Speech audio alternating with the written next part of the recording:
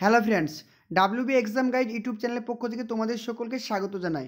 আমরা যে ভিডিওগুলো পাবলিশ করছি তোমাদের প্রাইমারি টেটের জন্য, সেগুলো কিন্তু প্রত্যেকটাই তোমরা দেখে নিও, কারণ প্রত্যেকটা ভিডিও কিন্তু তোমাদের পরীক্ষার অ্যাসপেক্টে খুবই গুরুত্বপূর্ণ। আজকে আমরা আলোচনা করব জিওগ্রাফি থেকে একটা টপিক কারণ আমরা জানি যে এনসিআরটি নিয়ম অনুযায়ী এবার আমাদের পরীক্ষা হবে। আর এনসিআরটি সিলেবাসে কিন্তু বলা হয়েছে, দেখো, এখানে কিন্তু আমি একটা এনসিআরটি সিলেবাসের যে পিডিএফের যে একটা পেজ সেটাকে স্ক্রিনশট করে তোমাদেরকে দিয়েছি। তোমরা দেখতেই পাচ্ছ, তো বলা হয়েছে ইন্ডিয়ান জিওগ্রাফি থাকবে আমাদের যে পরিবেশের ওপরে। তো এখানে কিন্তু প্রত্যেকটা জিনিস এখানে উল্লেখ আছে।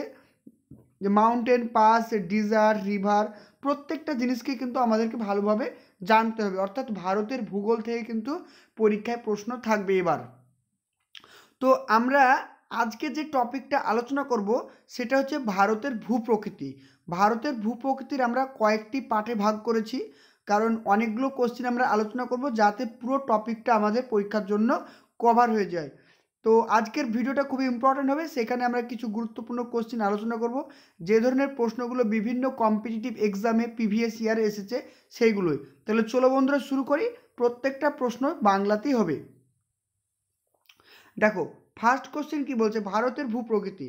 প্রথম প্রশ্নতে যে প্রশ্নগুলো ইম্পর্টেন্ট সেগুলো আমি একটু বলে দেবো। তোমরা একটু বেশি করে নোট ডাউন করবে। বলছে, ভারতে অবস্থিত নিম্নলিখিত অঞ্চলগুলির মধ্যে কোনটি প্রাচীনতম শিলা? অর্থাৎ প্রাচীনতম শিলা কোনটি? অপশন দেখো, হিমালয়, সিন্ধু, গাঙ্গীয়, আরাবল্লী, শিবালিক। তাহলে এটা কি হবে? এটা হবে কি? অপশন সি হবে আনসার আরাবল্লী পর্বত। কারণ আমরা জানি আমাদের ভারতবর্ষে আরাবল্লী পর্বত হচ্ছে সবথেকে প্রাচীন ভঙ্গিল পর্বত। আর হিমালয়টা কি? হিমালয়টা হচ্ছে নবীন ভঙ্গল পর্বত। ওকে হিমালয়টা হচ্ছে নবীন আর আরাবল্লীটা হচ্ছে প্রাচীন ভঙ্গিল পর্বত। তাই এখানে সঠিক আনসার অপশন সি খুবই ইম্পর্টেন্ট প্রশ্ন, এটা দেখতে পাচ্ছ। ডাব্লিউবিসিএস দু হাজার এগারো সালের প্রশ্নটা এসেছিল। নেক্সট প্রশ্ন দেখো, নিম্নলিখিত কোন দুটি দ্বীপের মধ্যে ডানকন প্যানালি সরি ডানকন প্রণালী অবস্থিত। এই ধরনের প্রণালীগুলো কিন্তু খুবই ইম্পর্টেন্ট যে ডানকন প্যাসেজ তারপরে দশ ডিগ্রি চ্যানেল আট ডিগ্রি চ্যানেল ন ডিগ্রি চ্যানেল কোথায় অবস্থিত? তো এগুলোর লিস্ট আমি তোমাদেরকে দিয়ে দেবো, তোমরা অবশ্যই পড়ে নিও। তো দেখো ডানকান প্যাসেজ কোথায় অবস্থিত?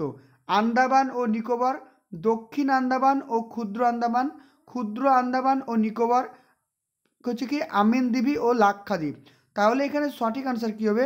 দুই একটা বি হবে সঠিক আনসার যে ডানকান প্যাসেজ বা ডানকান প্রণালী হচ্ছে কি দক্ষিণ আন্দামান ও ক্ষুদ্র আন্দামানের মধ্যে অবস্থিত। অপশন বি ওখানে সঠিক আনসার আর এর সঙ্গে আরেকটা জিনিস তোমরা মনে রাখবে, আন্দামান ও নিকোবরের মধ্যে অবস্থিত দশ ডিগ্রি চ্যানেল কি বললাম? আন্দামান ও নিকোবরের মধ্যে হচ্ছে দশ ডিগ্রি চ্যানেল অবস্থিত। নেক্সট কোশ্চেন দেখব আমরা। নেক্সট কোশ্চেন দেখো কি বলছে? বিতস্থ জলধর দোয়াব কোন নদীর মধ্যে অবস্থিত? কি বলছে?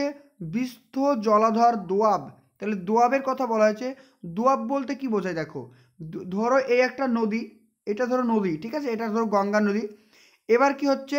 এইখান থেকে একটা নদী এসে গঙ্গাতে মিশেছে, ওকে? আর আরেকটা নদী ধরো এসে গঙ্গার সাথে কি হচ্ছে? আর একটা নদী ধরো এইখান থেকে। আর একটা নদী ধরো এইখান থেকে এসে মিলিত হয়ে এই নদীর সঙ্গে মিশেছে। তার মানে দেখো, নদীটা এইখান থেকে যাচ্ছে আর একটা নদী এইখান থেকে আসছে। ফলে এইখানে যে একটা সমভূমি সৃষ্টি করছে, এই সমভূমিটা কি খুবই উর্বর।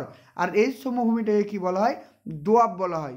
ওকে, এই সময়টাকে কি বলা হয়? দোয়াব যেমন একটা আমাদের উদাহরণ হচ্ছে কি? দেরাদুন। দেরাদুন হচ্ছে কি? উত্তরপ্রদেশের দেরাদুন হচ্ছে একটা দোয়াব ওকে? তাহলে বিস্ত জলাধর দুয়াব কোন নদীর মধ্যে অবস্থিত? তাহলে এখানে দেখো অপশানগুলো কি হচ্ছে?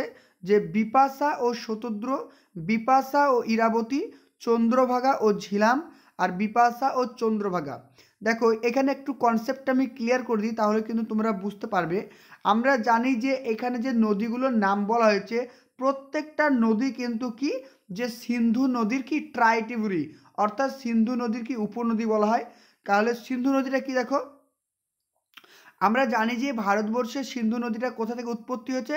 সেটা হচ্ছে কি তিব্বতের, তিব্বত থেকে উৎপত্তি হয়েছে। ঠিক আছে? সিন্ধু নদীটা এইভাবে উৎপত্তি হয়ে এইভাবে চলে গেছে। ঠিক আছে? এইভাবে গেছে। এবার হচ্ছে কি, সিন্ধু নদীটা এইভাবে যদি গিয়ে থাকে, তাহলে আমাদেরকে যেটা মনে রাখতে হবে যে সিন্ধু নদীর কটা উপনদী রয়েছে? পাঁচটা উপনদী রয়েছে। সিন্ধু নদীর বাম তীরে পাঁচটা উপনদী রয়েছে কি? যে হচ্ছে কি J C R B C মনে রাখবে কি? যে শর্টকাট বলে দিচ্ছি। J C R B C মনে রাখো, কারণ পরীক্ষা এগুলো জিজ্ঞাসা করা হয়। J C R B C এর ফুল ফর্ম কি? যে মানে কি? চন্দ্রভাগা। এখান থেকে যে নদীটা গেছে এটা হচ্ছে চন্দ্রভাগা। ওকে সি মানে হচ্ছে কি? চেনাব। সরি ভুল বললাম একটু। একটু মিস্টেক হয়েছে। যে মানে কি? ঝিলাম। ঠিক আছে? যে মানে ঝিলাম সি মানে চন্দ্রভাগা আর মানে হচ্ছে কি রবি, ঠিক আছে? বি মানে কি? বি মানে হচ্ছে কি বিপাশা, আর সি মানে হচ্ছে সুতলেজ। ওকে তাহলে কি বললাম? আরেকবার দেখো, মনে করে রাখো। যে মানে হচ্ছে কি ঝিলাম, ঠিক আছে? আর সি মানে হচ্ছে কি চেনাব আর মানে রবি, আর বি মানে কি? বি মানে হচ্ছে কি বিপাশা, আর এস মানে সুতলেজ, বা সি মানে সুতলেজ। তাহলে এখানে আমার সঠিক আনসার কি হবে? বিপাশা ও শতদ্র নদী। কি বললাম? বিপাশা ও শতদ্র নদী। তাহলে বিপাশা ও শতদ্র নদীর মিডিলে যে জল, বিস্তস্ত যে জলধর দোয়াবটা রয়েছে, সে দোয়াবটাকে কি বলব আমরা? যে বিপাশা ও শতদ্র নদী। কারণ দেখো আমি আর এরা কি বললাম যে উত্তরাখণ্ডের মধ্যে যেটা রয়েছে, সেটা হচ্ছে কি? উত্তরাখণ্ড বা উত্তরপ্রদেশের মধ্যে যেটা রয়েছে, সেটাকে আমরা বলব কি? সেটাকে বলব দোয়াব। আর সব নিচে কোনটা আছে দেখো? সব নিচে আছে কি? বিয়াস ও কি? সুতলেজ। বিয়াস ও সুতলেজ রয়েছে। যেটাকে আমরা এখন বলি কি? বিয়াস মানে কি? বিয়াস হচ্ছে আগের নাম। এখন সে নামটা হয়ে গেছে বিপাশা। আর সি মানে ছিল কি? সুতলেজ। যেটা এখন নাম হয়ে গেছে কি? শতদ্র। তো পরীক্ষায় অপশান থাকতেই পারে যে বিয়াস ও সুতলেজ। এর জন্য ঘাবড়িয়ে যাওয়ার কিছু নেই। এটা সঠিক আনসার কী হবে? বিয়াস বা সুতলেজ বা বিপাশা ও শতদ্র ঠিক আছে? তাই এটার সঠিক আনসার হবে অপশান এ আশা করছি পুরো জিনিসটা তোমরা বুঝতে পেরেছ, ঠিক আছে? খুব ইম্পর্টেন্ট নেক্সট কোশ্চেন তিন নাম্বার, দেখো। পশ্চিম ঘাটের পশ্চিম দিকে নিম্নলিখিত কোন ভূখণ্ড দ্বারা গঠিত? বলছে পশ্চিম ঘাটের পশ্চিম দিকে নিম্নলিখিত কোন ভূখণ্ড দ্বারা গঠিত? কি যে ভৃগু, তারপর হচ্ছে কি অটক থোনাস ন্যাপ, চুতি আর রকি ওয়াটলার। তাহলে তিনেরটা কি হবে? আনসার ভিগু। কারণ দেখো, ভিগুকে বা ইংরেজিতে বলছে ক্লিপ বলছে, ঠিক আছে? ক্লিপ। যেটা আমরা পশ্চিমঘাট পর্বতে লক্ষ্য করি। তো এটা খুবই ইম্পর্ট্যান্ট একটা কোশ্চিন তো এটা সঠিক আনসার হবে কি? Option A Bhrigu. ওকে তাহলে ভৃগু কোনটা? আর একবার বলছি পশ্চিমঘাট পর্বতে যে ধাপগুলো রয়েছে, সেখানে কিন্তু ভৃগু লক্ষ্য করা যায়। তারপর নেক্সট কোশ্চেন দেখো, চার নাম্বার ভারতের আকৃতি মোটামুটিভাবে বর্গাকৃতি ত্রিভুজ আকৃতি চতুর্ভুজ আকৃতি বৃত্ত আকৃতি তাহলে এটা সঠিক আনসার হবে কি? চতুর্ভুজ আকৃতি। ঠিক আছে? এটা হবে কি? চতুর্ভুজ আকৃতি অবস্থিত। তো এখানে আরেকটা জিনিস তোমাদেরকে আমি বলে দিই, যে ধরো এটা তো পৃথিবী, তাই না? এটা পৃথিবী, এটার মিডিলে দিয়ে কি কি গেছে? আমরা জানি নিরক্ষরেখা তাহলে ভারতটা কোথায় অবস্থিত? আমাদের ভারতটা হচ্ছে এইখানে অবস্থিত। আমাদের ভারতটা হচ্ছে এই লেভেলে অবস্থিত। ঠিক। তাহলে আমাদের ভারতের অবস্থান কি? এটা ভাগ করে এইভাবে। আমাদের ভারতের অবস্থান হচ্ছে কি, যদি পরীক্ষায় আসে যে ভারতের অবস্থান, তাহলে হবে কি, ইংরেজিতে বলে দিচ্ছি নর্দার্ন হেমোস্ফিয়ার অর্থাৎ উত্তর গোলার্ধে। এই প্রশ্নটাও কিন্তু পরীক্ষায় জিজ্ঞাসা করায় ভারতের অবস্থান। পৃথিবীতে ভারতের অবস্থান কোথায়? তাহলে অবশ্যই লিখবে উত্তর গোলার্ধে এবং পূর্ব গোলার্ধে, অর্থাৎ উত্তর পূর্ব গোলার্ধে হচ্ছে ভারত অবস্থিত। কেন উত্তর পূর্ব? কারণ হচ্ছে এটা নিরক্ষরেখার ওপরে আর এই যে রেখাটা দেখছ মূলমধ্য রেখা এটার কিন্তু ডান দিকে। সো এটা পূর্ব দিকে অবস্থিত। তো এটাকে আমরা বলব কি ভারতের অবস্থান, উত্তর পূর্ব গোলার্ধে অবস্থিত। ওকে তারপরে নেক্সট কোশ্চেন দেখো।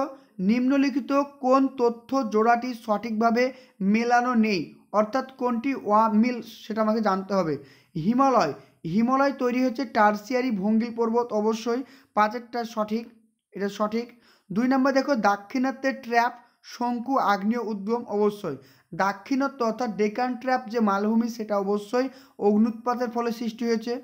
তারপরে অপশন সি, দেখো পশ্চিমঘাট পর্বত প্যালিওজয়িক ভঙ্গিল পর্বত, আর আরাবল্লী হচ্ছে কি প্রি ক্যাম্ব্রিয়ান ক্ষয়জাত পর্বত। তাহলে এটা কি হবে? সঠিক আনসার পশ্চিমঘাট যে, প- পোলিওজয়িক ভঙ্গিল পর্বত, এটা হবে সঠিক। তো এটা হচ্ছে মিলছে না, আর বাকিগুলো কিন্তু মিলে যাচ্ছে, তাই এটা হবে সঠিক আনসার ওকে তারপর নেক্সট কোশ্চেন শিলং মালভূমি মেঘালয় নামে পরিচিত। কোন ব্যক্তি এই নামকরণটি করেছিলেন? O H K Spate S P Chatterjee DN Wadia R L Singh এটা সঠিক answer option B S P Chatterjee বন্ধুরা, প্রত্যেকটা কোশ্চেন কিন্তু প্রিভিয়াস ইয়ার থেকে তোমাদেরকে প্র্যাকটিস করাচ্ছি। নেক্সট কোশ্চেন যে কোশ্চেনটা মোস্ট ইম্পর্টেন্ট অনেকবার পরীক্ষা জিজ্ঞাসা করা হয়েছে, ভারতের উপকূল রেখার দৈর্ঘ্য কত? ভারতের উপকূল রেখার দৈর্ঘ্য হচ্ছে সাত নম্বরটা দেখো অপশন ডি সাত হাজার সামথিং তো এটা সঠিক আনসার হবে সাত হাজার। শুধু সাত হাজার না, সাত হাজার পাঁচশো সামথিং তো এখানে যেহেতু সাত হাজার পাঁচশো নেই রাউন্ড ফিগার সাত হাজার। ওকে আর আরেকটা প্রশ্ন তোমাদেরকে এখানে বলে রাখি ভারতের কোন রাজ্যের, মনে রাখবে ভারতের কোন রাজ্যের উপকূল রেখার দৈর্ঘ্য সব থেকে বেশি? তাহলে অবশ্যই সঠিক আনসার হবে কি? গুজরাট। তারপরে হচ্ছে কি, গুজরাটের পরে হচ্ছে কি, অন্ধ্রপ্রদেশ। এই দুটো জিনিস মনে রাখতে হবে, কারণ অনেক সময় পরীক্ষাতে গুজরাট অপশানটা থাকে না। সেক্ষেত্রে আমাদের অপশান হবে কি, অন্ধ্রপ্রদেশ। তাহলে ভারতের উপকূল রেখার দৈর্ঘ্য হচ্ছে সাত হাজার, আর ভারতের উপকূল রেখার সব থেকে দৈর্ঘ্য বেশি হচ্ছে গুজরাটের, তারপরে হচ্ছে অন্ধ্রপ্রদেশ। নেক্সট কোশ্চেন লাক্ষাদ্বীপ দ্বীপপুঞ্জটি হলো ভারত মহাসাগর, আরব সাগর, বঙ্গোপসাগর এগুলোতে অবস্থিত। তাহলে হবে কি দেখো, লাক্ষাদ্বীপটা কোথায় অবস্থিত? লাক্ষাদ্বীপটা অবশ্যই আমাদের অবস্থিত আটেরটা কী হবে আনসার বি অর্থাৎ আরব সাগর অবস্থিত। দেখো, মানচিত্রটা দেখলে আমরা সঠিকভাবে বুঝতে পারব। যদি এখানে আমি একটা ভারতের ধরো সামান্য একটা ম্যাপ আঁকার আমি চেষ্টা করি, এটা ধরো ভারত। ওকে কারণ আমরা জানি এই জায়গা এখানে অবস্থিত কি? আন্দামান আন্দামান ও নিকোবর। আর এই জায়গাটাকে কি বলা হয়? বে অফ বেঙ্গল অর্থাৎ বঙ্গোপসাগর। আর এটাকে কি বলা হয়? ভারত আরব সাগর। এটাকে কি বলা হয়? আরব সাগর বলা হয়, ঠিক আছে? এখানে আরব সাগর, এই জায়গাটা আরব সাগর। আর এইখানে রয়েছে কি? লাক্ষাদ্বীপ। তাহলে লাক্ষাদ্বীপ কোথায় অবস্থিত? লাক্ষাদ্বীপ হচ্ছে আরব সাগরে অবস্থিত, ঠিক আছে? তাহলে বন্ধুরা মনে রাখবে কি? লাক্ষাদ্বীপ হচ্ছে কি? লাক্ষাদ্বীপ আরব সাগর অবস্থিত। আর লাক্ষাদ্বীপ হচ্ছে একটা কোরাল কোরাল দ্বীপ, ঠিক আছে? লাক্ষাদ্বীপ হচ্ছে একটা কোরাল দ্বীপ, ঠিক আছে? মনে রাখতে হবে, এটা কিন্তু খুব ইম্পর্টেন্ট কোরাল। নেক্সট কোশ্চেন ভারতের দক্ষিণতম বিন্দু হলো কি? খুব ইম্পর্টেন্ট একটা কোশ্চেন ভারতের দক্ষিণতম বিন্দু হচ্ছে কি? আন্দামান গ্রেট নিকোবর মিনিকয় কাভারাত্তি তো এটা সঠিক আনসার হবে কি? গ্রেট নিকোবর তাও এটা কি হচ্ছে? গ্রেট নিকোবর যেটাকে বলছে গ্রেট নিকোবর তো আমরা যদি এটা দেখতে পাই যে এটা ধরো ভারতের একটা যদি ম্যাপ আঁকলাম সাপোজ এক মিনিট দাঁড়াও। ধরো এটা একটা ভারত, এটা একটা ভারত। ওকে, এটা ভারত। এখানে এখানে যে উত্তরে যে দ্বীপটা রয়েছে, এখানে উত্তরের যে ওপরের সব থেকে দ্বীপ, সেটাকে আমরা কি বলব? আর পূর্ব যে দ্বীপ রয়েছে, সেটাকে আমরা কি বলব? আর পশ্চিমে যে দ্বীপটা রয়েছে, সেটাকে আমরা কি বলব? আর দক্ষিণে যে দ্বীপটা রয়েছে, তাকে আমরা কি বলব? এই নামগুলো কিন্তু পরীক্ষায় খুব আসে, ঠিক আছে? এগুলো কিন্তু একটু জানতে হবে। দেখো, উত্তরে যে দ্বীপটি রয়েছে সেটাকে আমরা কি বলব? যেটা আমরা কি বলব কি? ইন্দ্রা ইন্দ্রা কল। এখানে ওপরে যেটা রয়েছে সেটাকে কি বলব? ইন্দ্রা কল বলব। আর এখানে যেটা রয়েছে সেটাকে বলব ইন্দ্রা পয়েন্ট বলব। আর এখানে কি রয়েছে? এখানে রয়েছে কি? এখানে রয়েছে কি? কিবিথু। অরুণাচল প্রদেশে রয়েছে কি? কিবিথু। আর গুজরাটে রয়েছে কি? গুজরাটে যেটা রয়েছে সেটাকে আমরা কি বলব?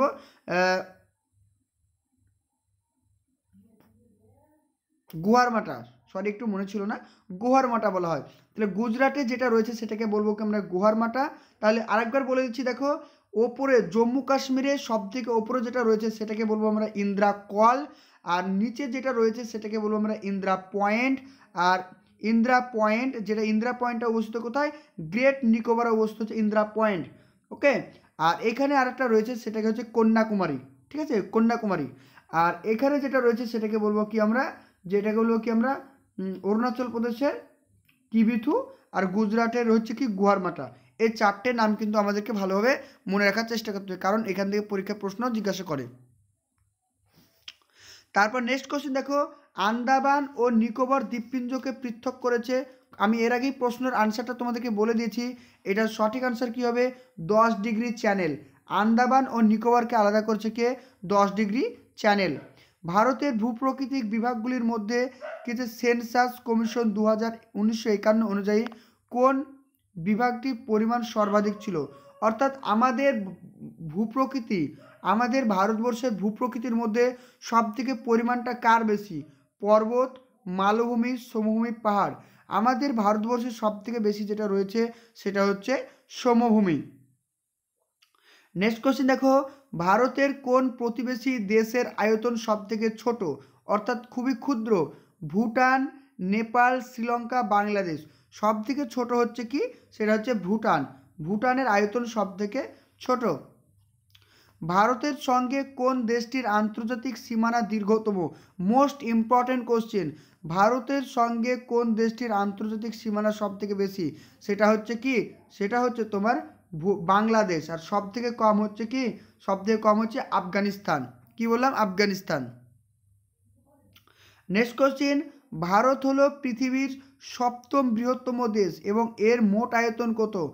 ভারতের আয়তন হচ্ছে কত? ভারতের আয়তন হচ্ছে বত্রিশ হাজার বর্গ কিলোমিটার। শুধুমাত্র বত্রিশ হাজার না, বত্রিশ হাজার সামথিং। তোমরা বত্রিশ হাজার মনে রাখো, তাহলে কিন্তু আনসারটা পরীক্ষায় করতে পারবে। অপশান সি হচ্ছে সঠিক আনসার ভারতের সর্বাপেক্ষা পূর্ব দিকের রাজ্য, অর্থাৎ ভারতের সর্বাপেক্ষা পূর্ব দিকের রাজ্যটা কি? সেটা হচ্ছে তেরোটা কী হবে? সি অরুণাচল প্রদেশ। কারণ এর আগেই বললাম যে ভারতের পূর্বতম বিন্দুটা কি? অরুণাচল প্রদেশের কি? অরুণাচল প্রদেশের কিবিথু তাই এটা সঠিক answer option C most important question ভারতের দক্ষিণতম একক বৃহত্তম দ্বীপপুঞ্জটি কি? ভারতের দক্ষিণতম বিন্দুটার নাম হচ্ছে কি রামেশ্বর দ্বীপপুঞ্জ কার নিকোবর মিনিকয় বৃহৎ নিকোবর। তাহলে এটা চোদ্দোরটা কী হবে দেখো? চোদ্দোরটা হবে কি? চোদ্দোরটা ডি এটা কি? বৃহৎ নিকোবর, ঠিক আছে? বা গ্রেট নিকোবর বলা হয়। বৃহৎ নিকোবর বা গ্রেট নিকোবর। কেন দক্ষিণতম? কারণ আমরা জানলাম যে ভারতের দক্ষিণতম বিন্দু হচ্ছে কি ইন্দ্রা পয়েন্ট, যেটা কিন্তু এই গ্রেট নিকোবরে অবস্থিত। নেক্সট কোশ্চেন বলছে, নিম্নলিখিত কোন রাজ্যগুলি মণিপুর রাজ্যটির সীমানা রয়েছে? অর্থাৎ মণিপুরের সঙ্গে সীমানা শেয়ার করছে কে? দেখো, মেঘালয়, মিজোরাম, ত্রিপুরা, নাগাল্যান্ড, অসম, মিজোরাম, নাগাল্যান্ড, মিজোরাম, মেঘালয়, নাগাল্যান্ড, মেঘালয়, ত্রিপুরা। তো এটার সঠিক আনসার কী হবে? পনেরোটা সি পনেরোটা সি হবে কি? তো মণিপুরের সঙ্গে যেটা শেয়ার করেছে সেটা হচ্ছে নাগাল্যান্ড, অসম আর মিজোরাম। এটা হবে সঠিক আনসার শিবালিক হিমালয়ের দক্ষিণ ঢাল কী নামে পরিচিত? শিবালিক হিমালয়ের দক্ষিণ ঢাল কী নামে পরিচিত?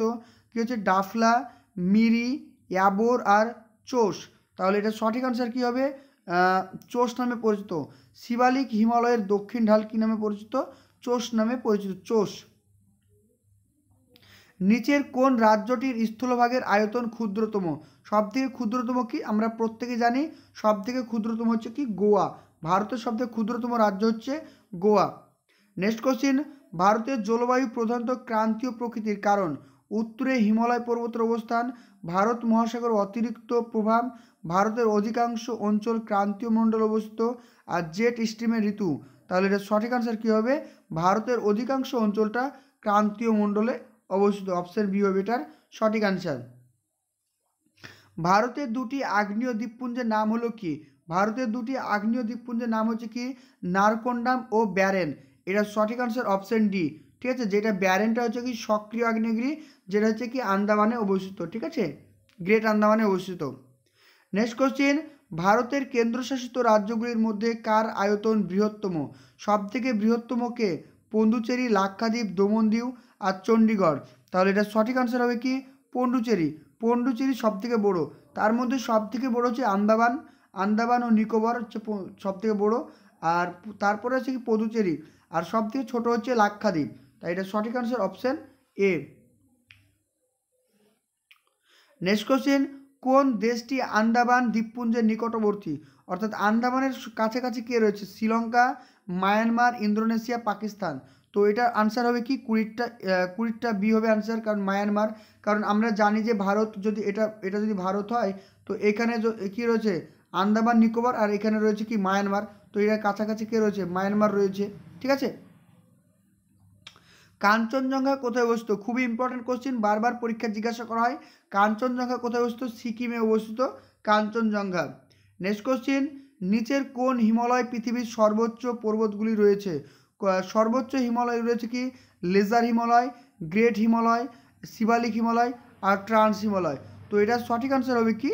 Option B great Himalaya. Great Himalaya রয়েছে কি? মাউন্ট ইভারেস্ট রয়েছে। ওকে কাঞ্চনজঙ্ঘা গ্রেট হিমালয় রয়েছে। তো তারপর দেখো, কোন দেশগুলি অরুণাচল প্রদেশের সীমানা রয়েছে? কোন দেশগুলি অরুণাচল প্রদেশের সীমানা রয়েছে?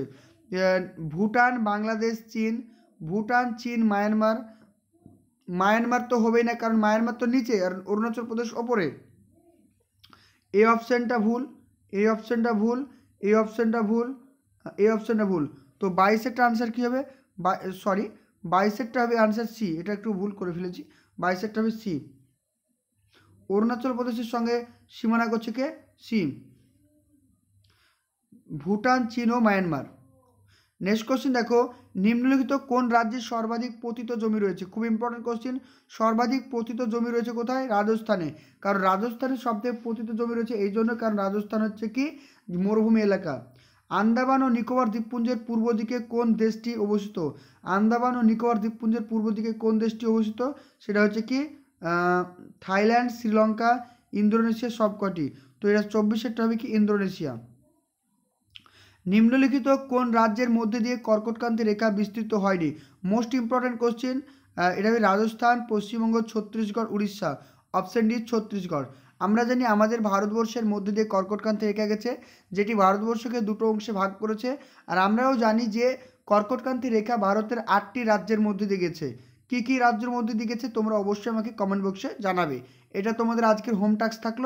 আর আজকের আলোচনা ছিল আমাদের পঁচিশটা প্রশ্ন। এরপরে আরও আমরা পঁচিশটা কোশ্চিন আলোচনা করব।